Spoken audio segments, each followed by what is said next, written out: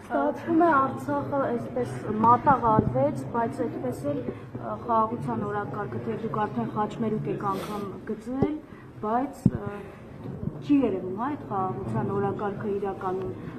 հիմա հնարավոր համարում եք որ այս պայմաններում քան որ խոսում եք անդադար պետական շահից առհասարակ այդ փաստաթուղթը եթե շարունակվեն նման պահանջները ադրբեջանի կողմից առհասարակ այդ փաստաթուղթը չստորագրվի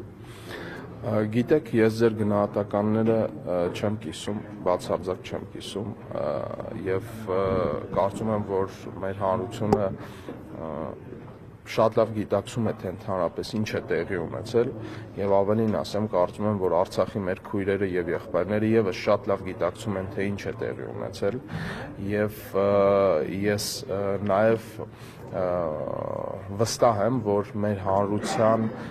գոնե զգալի մասը ծանոթ լինելով արկա խնդիրներին համարում է, որ խաղաղության օրակարգը ամենակարևոր օրակարգն է, որը մենք պետք է առաջ տանենք։ Պարոն Հակոբյան, կարող եք հստակ տարեթիվ ասել, թե երբ հասնվեց Արցախը, ինչ է այս հարցը տալիս, որտեղ ձեր թիմակիցները բարբերաբար տարբեր թվեր են ասում 91, 95, 2016, 17, 20, 22, 23,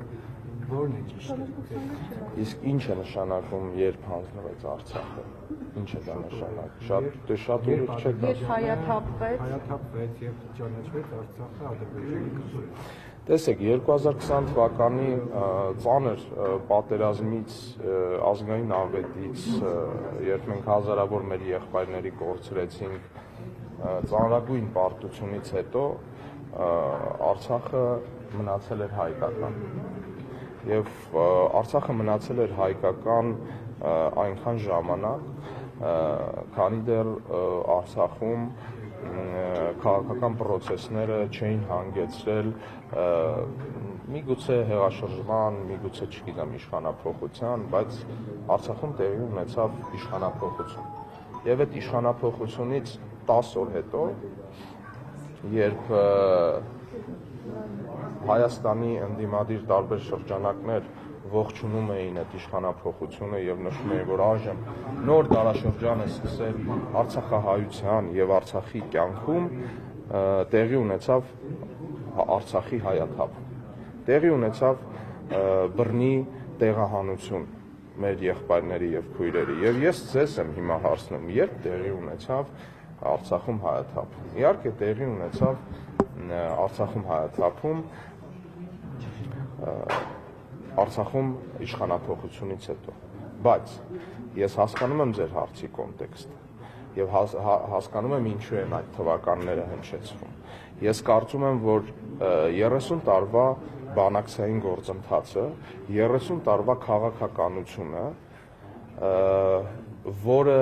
շատ հաճախ եղել է ոչ մի թիզական Հայաստանի Հանրապետությունում, իսկ այսինքն ներքին լսարանի համար, հայ ժողովրդի համար, իսկ միջազգային բոլոր հարթակներում բանակցվել է հայրենիքը զիջելու շուրջ բանակցել են նախկին իշխանությունները, նախկին նախագահները բանակցել են հայրենիքը զիջելու շուրջ ը, եւս ողջ process-ը ի վերջո նաեւ Արցախում տեղի ունեցած սեպտեմբերյան